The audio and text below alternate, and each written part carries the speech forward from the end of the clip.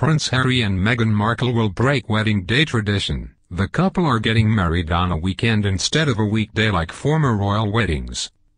Prince Harry and Meghan Markle will be getting married on May 19, 2018, according to a tweet from Kensington Palace. Unlike other British royal weddings that have taken place on weekdays, the wedding between Prince Harry and Meghan Markle will be held on a Saturday.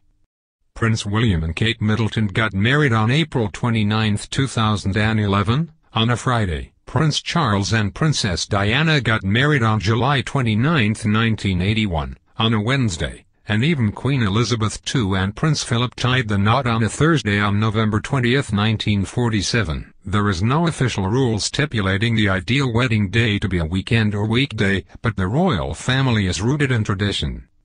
The Queen and the royal family will be in attendance, as well as some invited guests. Markle's parents, Thomas Markle and Doria Ragland, are also expected to attend the wedding. The venue for the wedding is Windsor Castle, west of London, one of the homes of Queen Elizabeth II. The couple will exchange vows in St. George's Chapel at Windsor Castle. Incidentally, the wedding will clash with the FA Cup competition, the British audience will not be lacking entertainment on May 19. The downside of having the wedding in the FA Cup on the same day is Prince William's participation in the FA Cup trophy presentation.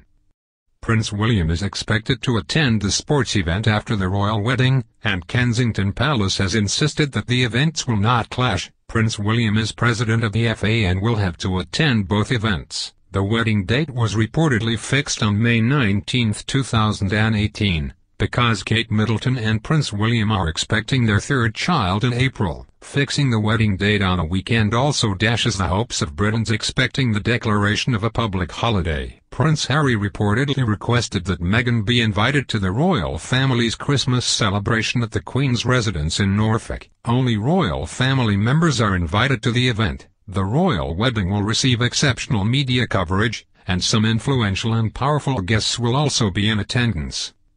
Prince Harry and Meghan Markle will be spending Christmas with the Queen and other members of the royal family. Prince William, Kate Middleton, and their kids, Prince George and Princess Charlotte, will also be in attendance at Norfolk with Prince Charles and the Camilla, the Duchess of Cornwall.